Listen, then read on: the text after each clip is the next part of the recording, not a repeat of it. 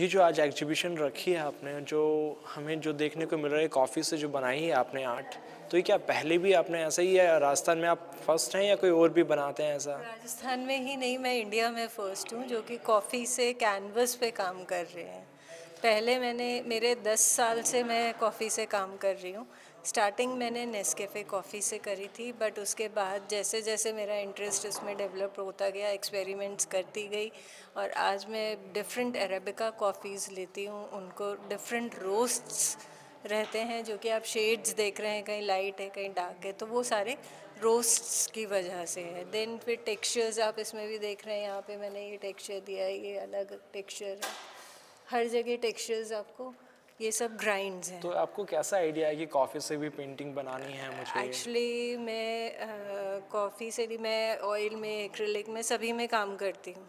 तो कॉफ़ी तो शुरू में ऐसे ही पीने के लिए फेंट रहे थे वो बाय चांस पता नहीं कुछ टक्कर लगी कुछ हुआ तो कप फूट गया। तो वो और फ़र्स्ट जो था वो बहुत स्मूथ नहीं था।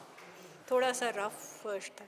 तो उस पर जो स्प्रेड हुआ उस पर जो स्ट्रक्चर और जो टेक्सचर जो उसका फ्लो था जो रिचनेस मुझे मुझे वहाँ पे कुछ दिख गया। कि मतलब कुछ painting बनी है, है। कुछ है मतलब ये एक चीज़ है जो कि मैं कर अच्छा सकती मतलब एक कॉफ़ी गिरना भी एक आर्ट आपके लिए। मेरे लिए बस फिर उस टाइम से ठान ली थी कि बस इसी पे इसको इसको अपना बना के चलना है। तो ऑल ओवर वर्ल्ड में आपने कहाँ कहाँ एग्जीबिशन लगाई अभी इस इसके पहले मैं यहाँ जयपुर कला महोत्सव में आर्ट फेस्टा में India art festival Delhi Mumbai और दुबई आर्ट फेयर और जयपुर आर्ट समिट ने सेलेक्ट किया था कि सियोल के लिए ये सब कर चुकी हूँ। और लास्ट मेरी habitat in Delhi habitat centre में थी और ये अब आपने जो आर्ट बनाई है इसके बारे में कुछ बताएँगे आप? क्या है ये?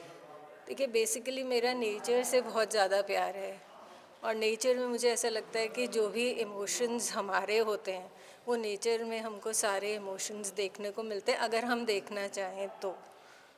तो वो सब जो एक प्यार एक एक्सपीरियंसेस हैं मेरे वो सब मैंने पोर्ट्रे करने की कोशिश करी है इसके साथ। जैसे इसमें मेरा पोर्ट्रेशन है लव का। लव किसी में भी हो सकता है बहन भाई का भी हो सकता है फ्रेंडशिप का भी हो सकता है प्यार किसी भी रूप में हो रूप सकता में है। हो सकता है।